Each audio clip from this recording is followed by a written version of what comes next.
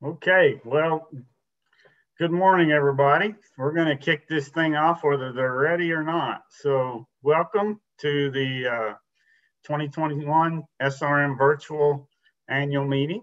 Um, as your 2020 SRM president, it's my distinct pleasure and honor to welcome you and to op officially open this meeting and uh, get things going. So, it's uh, certainly been uh, a crazy year for us. Uh, we've all had to make a lot of different changes and things going on in, in work and, and home and family life and everything else. And My, my first um, my first wish with you is that all things are well with you and your family health wise. Um, we've lost we've lost a lot of people to this to this virus and, and hopefully um, it hasn't hasn't touched you too hard. But uh, we certainly um, think about about you and your families and, and hope everybody is, is safe and well first and foremost.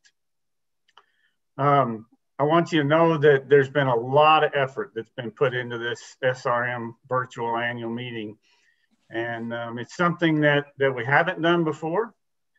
And, and it's something that we might be a little bit clunky at to begin with, but we're going to do our best. We're going to make the best of it.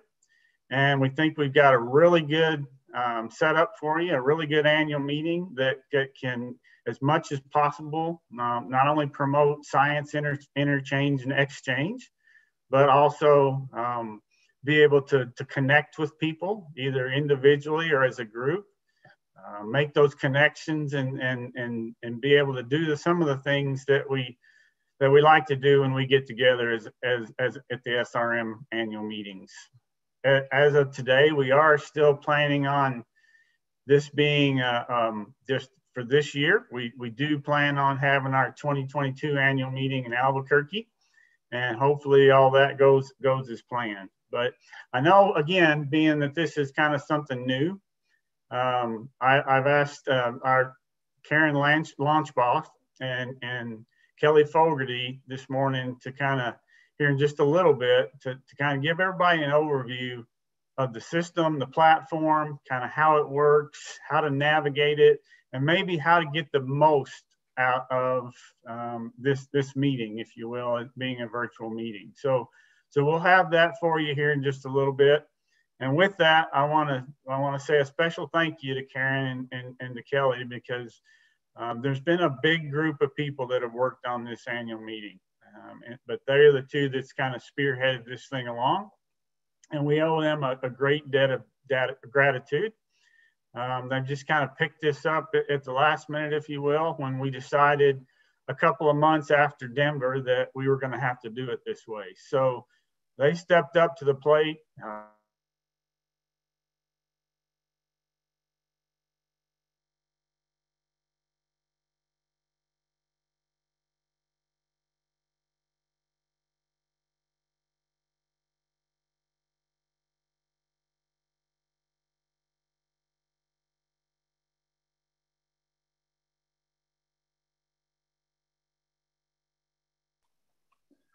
All righty. And given the way it's going to be with these technical meetings, technical difficulties, looks like our president, Charlie Hart, has froze up a little bit. With that, uh, I am your executive vice president, Jess Peterson. And I want to build off of what President Hart just referenced in a big, warm welcome to have all of you here today at our 74th SRM annual meeting. Now, as President Hart referenced, for those of you that are used to attending it in person, we thank you very much for being able to work out the live stream and technical difficulties and everything that goes on there. So again, we really, really appreciate you making this work. As President Hart referenced, we hope to be in Albuquerque and next year, along with Boise in 2023. So thanks for bearing with us this year. Uh, one of the things that we're really excited about is maybe you haven't had an opportunity to, uh, this might be one of your first meetings. This might be a meeting you, you haven't been to in a while. And so we are really glad that you're able to join us whether you're used to going in person or this is one of your first uh, live meetings or online meetings that you've been able to access now because you haven't had a scheduling conflict. So we're really, really glad to have you here. And we're really excited about this function. As President Hart mentioned, we spent a lot of time, your staff, volunteers, the planning committee, and board have spent a lot of time getting this, uh, getting this meeting to this point. And you're going to see a lot of the neat things that we enjoy so much about our SRM annual meetings. So uh, take it in. Uh, we've got a help desk. You've got staff. They're literally virtually running around right now, uh, working behind the scenes and helping you out and ready to, to be there as you go through this week ahead.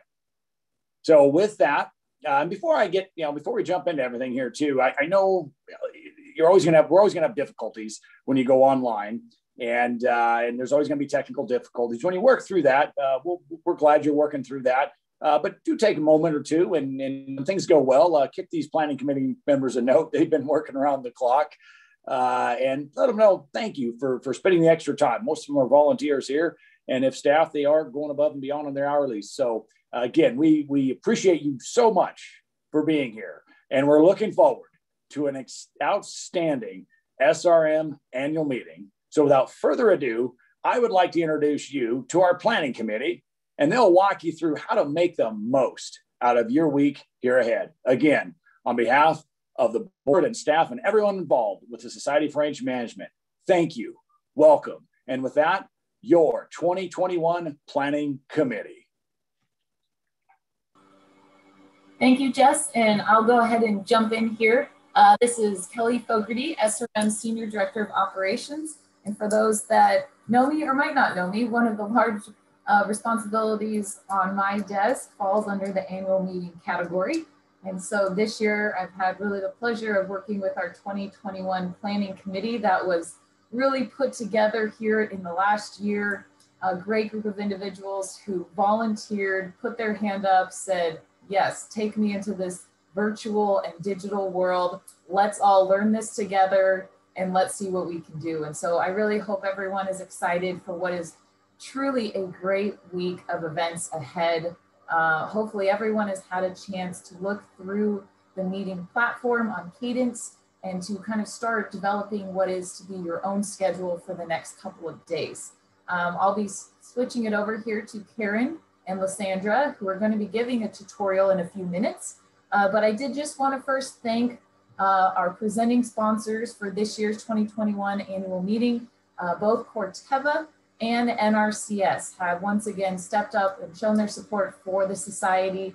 Uh, they are repeat and, and, and once again uh, coming in at that high level of presenting sponsors. And really this year's meeting would not be possible without them. So we really want to thank, the, thank them again for taking part and really supporting their society this year.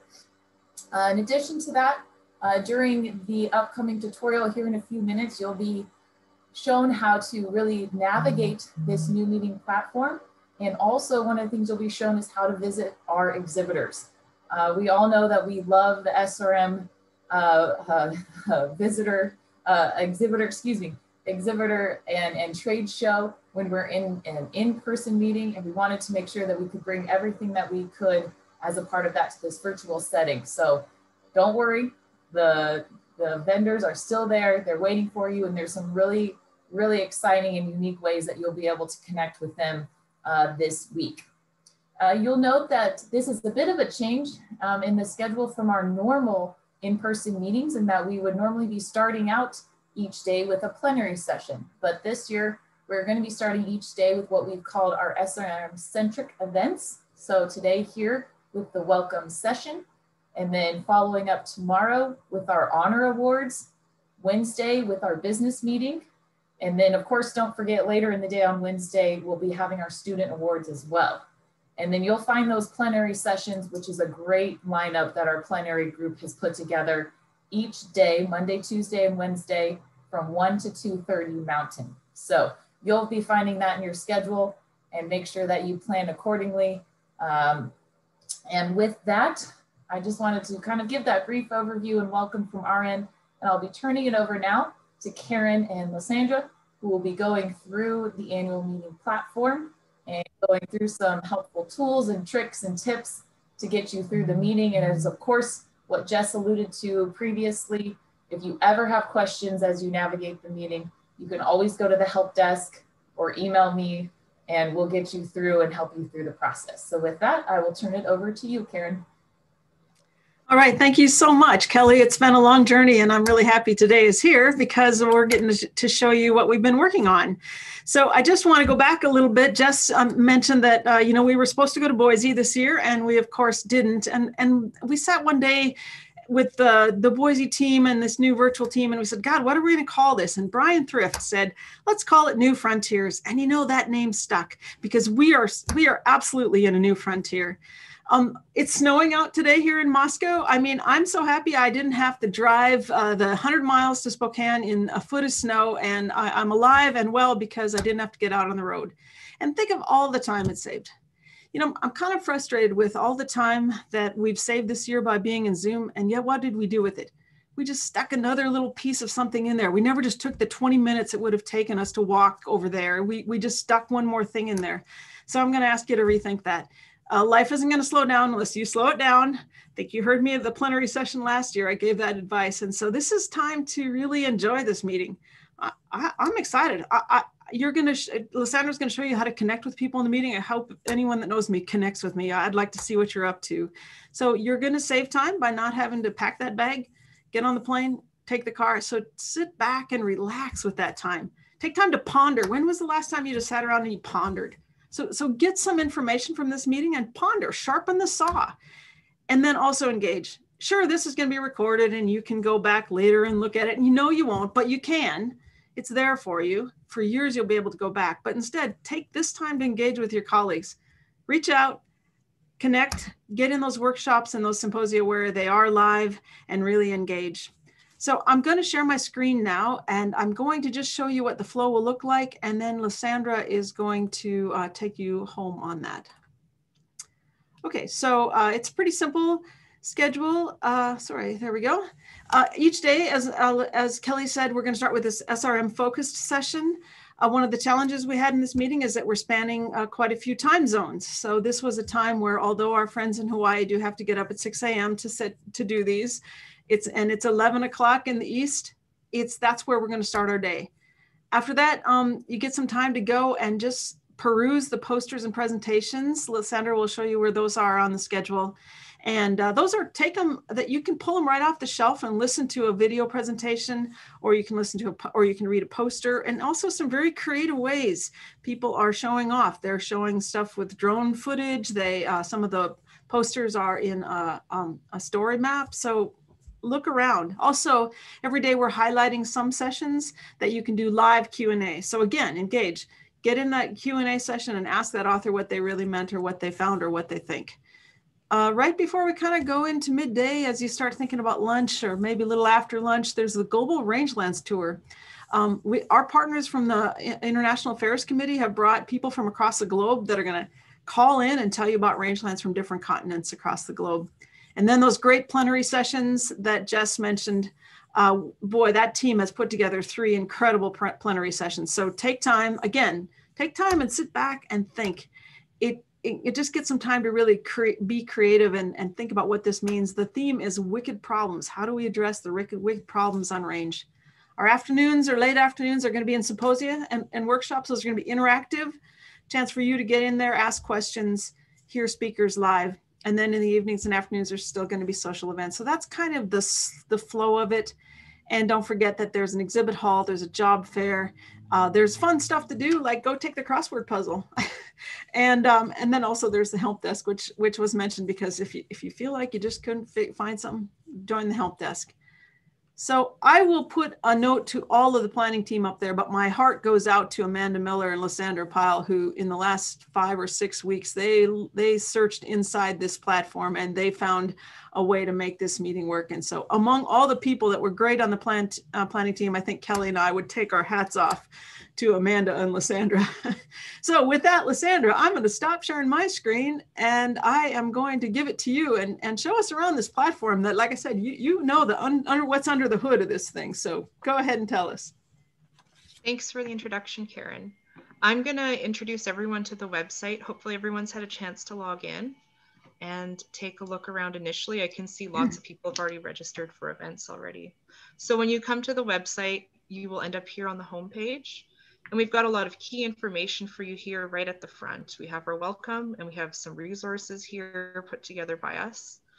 um, some key information we have for you right off the top is to set up your profile. And you'll set up your profile by clicking on the top left here on your name and just fill out this information here.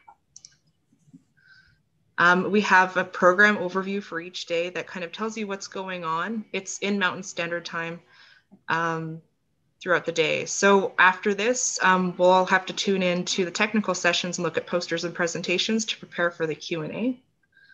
So that's the next step after this event. Um, what everyone should do while they're exploring the platform is go over and start filling out their schedule. So here under schedule, we can go to full schedule, which shows you all of the events we have scheduled um, that are live, or you can search by these um, highlighted tracks.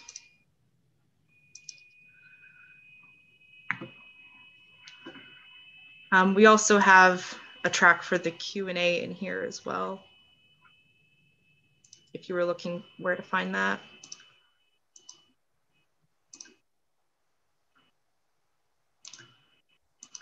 These are all the Q&A.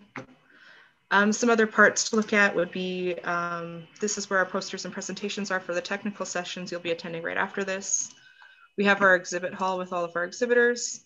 Um, one of the things we want to point out to you is that you can interact with exhibitors by scrolling down their page and going down to their chat, click join chat, and you can um, start a conversation with them and they'll all be live at their booth starting at 11 Mountain Time today. And you can jump in a Zoom call with them, and they'll be there waiting to talk to you.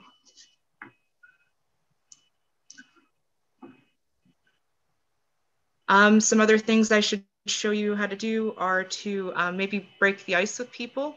So I can reach out to the SRM president and I can break the ice with him. And from there, we can start a conversation directly with each other if people wanted to set up a chat channel to like have their workspace present, um, we could, any person can set up their own private message channel for like their works, their workspace, like their work team or their lab group. And we've also set up a bunch of um, chat channels here already for the technical sessions. So let's say you wanted to go to climate variation and drought.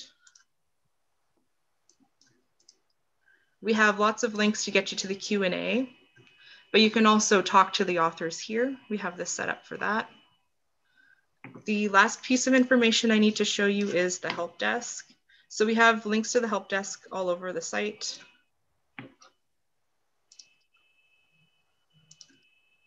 This is like an exhibit booth where you can scroll down, you can talk to us directly by joining our chat. We also have some tips here for how to interact with the meeting. And we also have another booth if you experience any um, misconduct during the meeting where you can maybe report that here. Um, Karen, is there anything else you'd like me to cover? No, Lysandra, it's great. I think um, it looks a little like uh, maybe confusing, but hey, dig in. It's not that hard. Just push on buttons. You can't really do any harm. And make sure to put your um, information in your uh, um, in your profile so that we can connect with you. Again, go to the help desk if you have any questions. Kelly and others are going to help you out with that. So I'm going to return, I guess, to uh, Kelly and and thank you guys for being here. Um, again, I hope I bump into you in the meeting. So chat me up and and we'll have a good time. Thank you, Karen and Lysandra. Hopefully that gave folks a, a good idea of some of ways to navigate the meeting, but also how to make the most out of the meeting.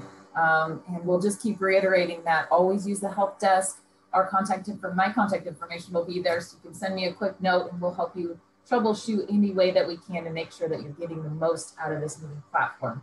Uh, so I will go ahead and turn it over to our EVP, Jess Peterson, who is going to introduce uh, one more welcome for uh, this year's meeting. Well, thank you so much. And again, are, are, we getting enthused and excited out there? We see the chat box is going well. So folks have picked up on that. Outstanding uh, emails, text, uh, and that, of course, this chat lines are coming in. So thank you so much uh, for engaging and your enthusiasm already. We can feel it. And uh, as you've just heard from our planning committee, uh, what an opportunity. We're so excited. We're going to keep this show going. We have an opportunity from time to time in plenary sessions to take advantage and enjoy uh, the folks that have uh, been longstanding SRM members but have also continued to climb within the ranks of their professional career. And this individual here has been a longstanding SRM member and has climbed to one of the highest levels that a society member can do or has done.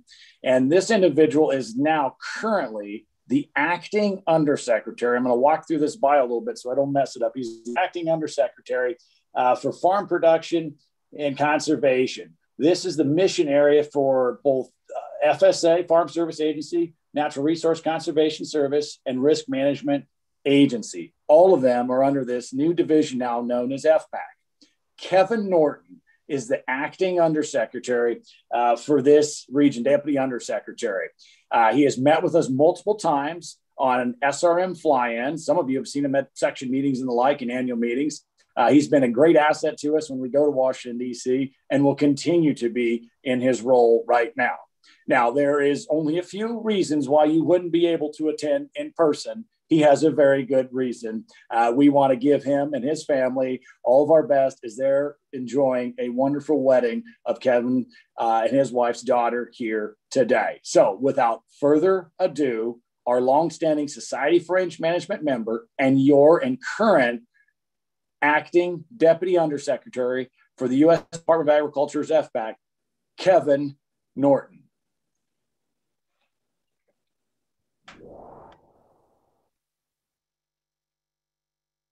Hello, SRM family. It's my honor to address this wonderful society to which I've enjoyed over 42 years of membership and participation. I must confess it's a little confusing as to my titles at this time. When I, the initial invitation was presented, I was the acting chief of the Natural Resources Conservation Service, a temporary appointment for my permanent job as the associate chief. While speaking to you today, I'm the acting deputy undersecretary for USDA's Farm Production and Conservation Mission Area.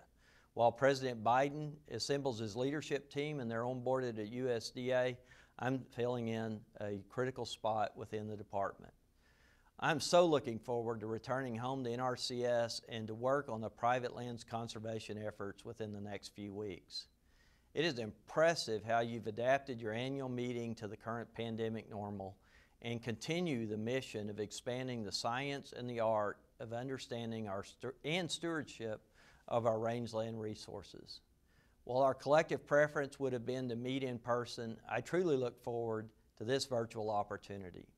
Range conservation is a part of my DNA. From my high school days of range and pasture judging and raising livestock to my range degree at Oklahoma State to the foundation of my NRCS career as a range conservationist, a position title I held for 12 of my 39 years of service and I truly hold in my heart for the balance of my years with this agency. And I want to just say, go Pokes right here to all the uh, fellow alumni of Oklahoma State University uh, and to the Society for Range Management. It's a professional organization that has been a decades long partnership with Soil Conservation Service first and now the Natural Resources Conservation Service. Y'all are near and dear to my heart. NRCS could not accomplish the conservation successes we have had and will continue to experience across the nation's rangelands without partners like you, leaning into the science and sociology surrounding this wonderful resource and the numerous benefits we accrue from our shared stewardship on both the private and public rangelands of this great nation. As we strive to hire and equip our workforce to work across institutions, agencies, and in hand with the producers and stewards on the land, the SRM is critical, if not essential, to growing and training our workforce to be effective and articulate in the conservation planning setting everywhere, every time. For that, I thank you. You are special and tremendously necessary to our agency and our work. Let's look now at some of the successes and the impacts across working lands whose roots can be traced back to our employees and our partners and what we've learned from associations and societies like the Society for Range Management. Let me start with our personnel. We are currently 279 strong in the Rangeland Specialist 454 series with many other range specialists scattered through other job series. Certainly, that's not enough.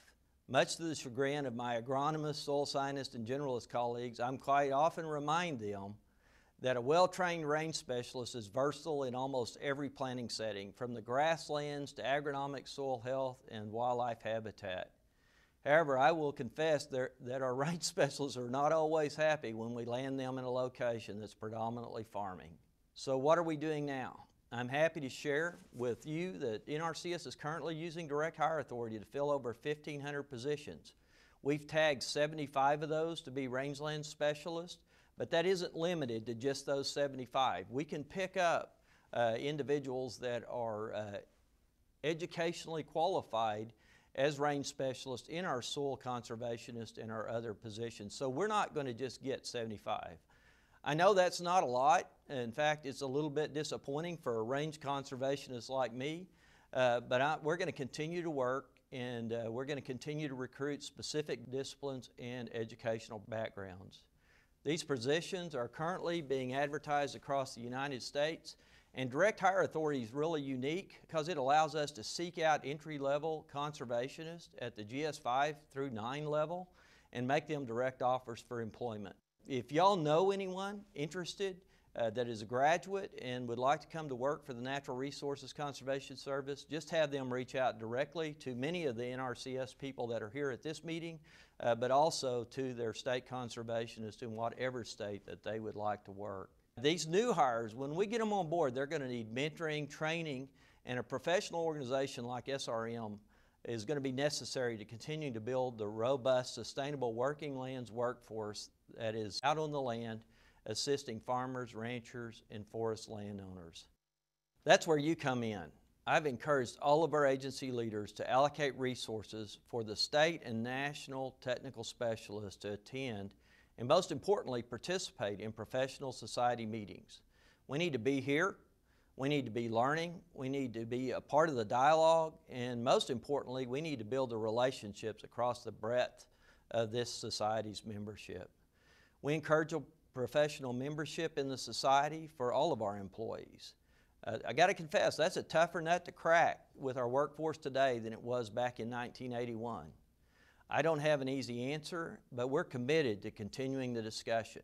We want our employees to be connected with the Society for Range Management and other professional societies so that they can sharpen their skills and continue to adapt to this changing technology and science surrounding our natural resources. NRCS and SRM have a partnership agreement. We're looking forward to working together into the future, developing two training courses covering vegetation monitoring and data interpretation, and a grazing land economics class. Additionally, we have an agreement focused on comprehensive and long-term strategies for sustainable rangelands on tribal lands. What about expanding our base of support? Technical service providers, or TSPs as we call them, are also important to our success. Your certification program for certified professionals in rangeland management is an exemplary process with credible, rigorous qualifications and standards. TSPs provide support to our agency's customers out in the field to help address workload or training needs when we cannot allocate the time or in-depth resources to a specific customer. We view TSPs as a valued partner they can plan, design, and help producers implement conservation at the system level by incorporating the landscape, watershed, or habitat values into the planning environment. We are currently engaged in a continuous improvement process. Additionally, TSPs can be drivers of innovation since they have flexibility to nurture innovative ideas, allow them to cultivate and evolve faster, and in turn, allowing the agency and the producers to benefit. We embrace continued learning and innovation, and we believe the technical service providers, the certified rangeland management specialists, provide a great opportunity for us to grow forward. NRCS has been working over the past year to pursue a continuous process improvement effort to help address congressional requests, the requests from our TSPs, our clients, and the field offices that you provide support to. Uh, there are nine CPI teams working through the number of issues such as training, certification, third-party certification like this Society for Range Management, planning implementation requirements, and quality assurance. We anticipate CPI process to be completed by early summer in preparation for full deployment in fiscal year 2022. I just want to emphasize we are keenly aware that we have a very cumbersome and difficult process, and it doesn't really fit well with the way you engage with producers on the landscape, whether it's in the early part of our conservation planning effort, whether you're where you're gathering resource information, analyzing data, or you're in the stage of evaluating the options move forward or implementation. We believe that the process should be adaptable so that you can inform and work with the producer at the right place at the right time to provide the services they need. We're on that mission and we're going to get it right. So that's my commitment to you around technical service providers. I just want to emphasize right here that the conservation planning process is, is nine steps that are guiding decision making. Uh, technical service providers provide value in every one of those three key phases of our conservation planning process. We're going to break that process down so producers, customers can engage the technical service provider at the appropriate time to fill the need to do what's best in that planning setting that is their farm, their ranch, or their grazable woodlands, their forest. So now let's take a virtual journey across the nation's vast working lands, our rangelands. What an impressive picture of the scope of the lands and the impacts of your work. 30% of the entire land cover of the United States is rangeland, which equates to about 770 million acres. You know these numbers. It's an estimated two thirds of all the U.S. rangelands are privately owned, and that makes up about 500 million acres. What's unique is in a lot of places, the private lands and the public lands are blended together, and you have to balance those competing or complementary interests in order to be successful in grazing land natural resource planning. These working lands constitute over 27% of the total acreage across the 48 contiguous states. That is vast and impressive. So where did we fit in this day and time in history? To start, NRCS has committed 4 billion in investments across America to address conservation needs across all land uses. These investments include our technical assistance to our customers and partners, funding opportunities through the Farm Bill programs, and the use of partnership agreements with non-governmental organizations, uh, uh, the private sector, and others to expand uh, the reach of conservation and the federal investment. We have COVID 19 that certainly has presented its challenges in delivering conservation and the quality of customer service that we expect across the states in 2020. I can assure you, and I am uh, happy to report that our employees and partners met that challenge. They found a way through the challenges of delivering customer service from across the truck beds through uh, Microsoft team meetings, uh, Zoom meetings, signing stations outside our service center, uh, scheduling appointments where they could uh, uh, you know, visit the farm, visit the ranch, and still gather that resource uh, data so that we could work through decisions with our customers. And offering uh, many opportunities uh, to communicate. We've extended our, our uh, offices and our work into our employees' homes so that we're available and continuing to work with the customers across the landscape. And thanks to each of you, tremendous impacts have been made. Working one on one with your customers every day, you are not only implementing beneficial conservation practices such as brush management, prescribed fire, water source pipelines, fencing, uh, you're also educating customers on those sound principles of rangeland stewardship. You're educating them on soil health, understanding the plant species, the management, the impact of grazing and the different grazing management opportunities on the ecosystems and the multiple resource benefits that they want to derive from their grazing lands.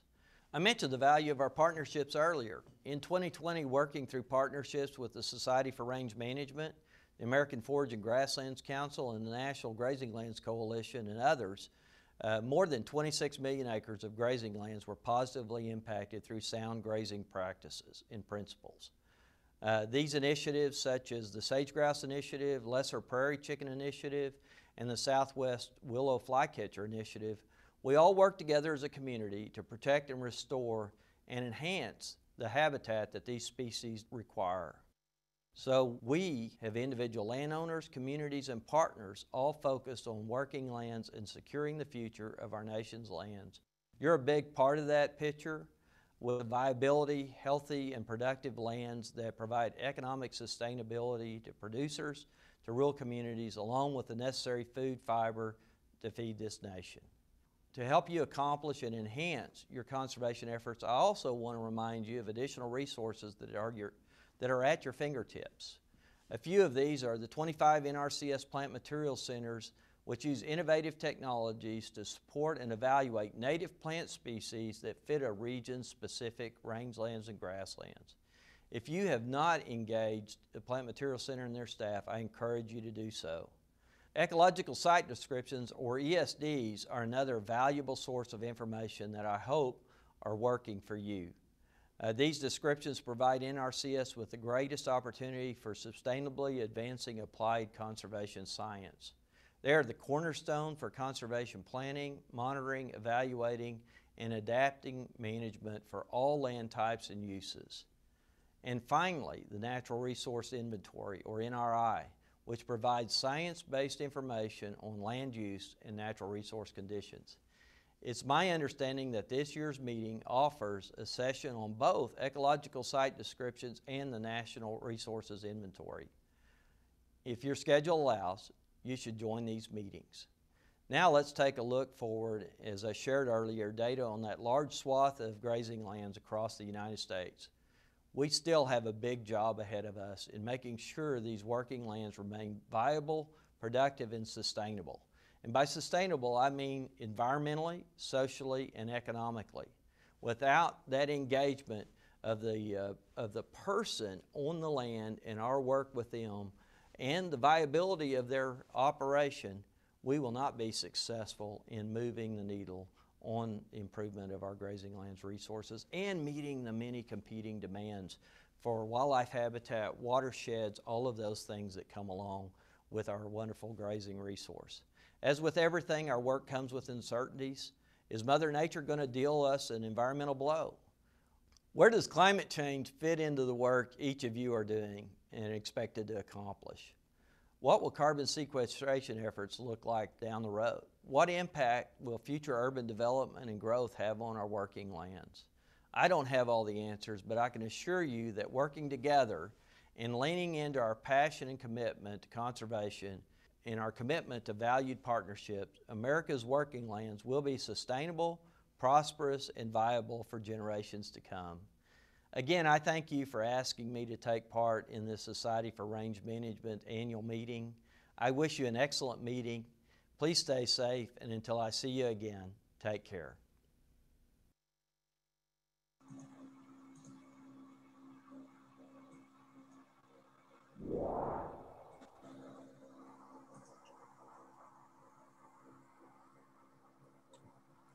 All right. Hopefully everyone enjoyed that video. What a great message uh, from Acting Undersecretary uh, Kevin Norton there. And just as a reminder, we'll be recording all of the sessions. Um, and so if you did miss anything, you had to step away, you'll always be able to come back and the recorded sessions will be populated within the agenda. So on that note, we are going to wrap up this morning's session just a bit early so that we can give folks sufficient time to navigate and learn the system, hopefully put into practice all of the tips and tricks that you learned from Lysandra and Karen uh, earlier in this morning's session so that you are ready and raring to go for the technical session starting at 1030 Mountain. Um, again, as a reminder, we're gonna be recording all the sessions and populating them within the schedule. So check back if you have to step away for a call, you've got to get to some work, we understand. That's why that's one of the main benefits here of this virtual platform for sure is that you are going to have access to those sessions that maybe you had to miss. Um, and on that note, the platform will be available following the meeting's conclusion at the end of the week. So you'll be able to tune in and maybe you want to check out a certain talk again, something really resonated with you and you want to make sure that you kind of gather that information. So always be sure to check back. We'll try to have all of those recorded sessions available uh, by the end of every day. Uh, technical, you know, difficulties there withstanding. Uh, on another note, we of course wanted to provide an update on registration. We had really hoped that SRM members would turn out this year, and all we can say is that you all delivered. We have just over 1,500 attendees joining us this year. What a great turnout. Like second VP of Launchbaugh said, connect with one another. You've got 1,500 people on this platform to reach out to, connect on a project, ask questions. Maybe you saw them present in one of the technical sessions. Use this virtual meeting as you would the hallways at an in-person meeting. Reach out, make those connections. So now as we close out this session and go into a week of symposia and talks honoring our world's rangelands, I'd like to give the following statement on behalf of SRM. The Society for Range Management acknowledges with respect that rangelands are the traditional and ancestral homelands of indigenous peoples, as well as a site of trade, gathering, and healing.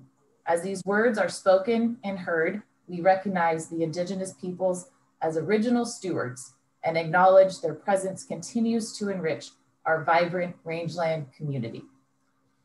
Thank you for everyone tuning in this morning.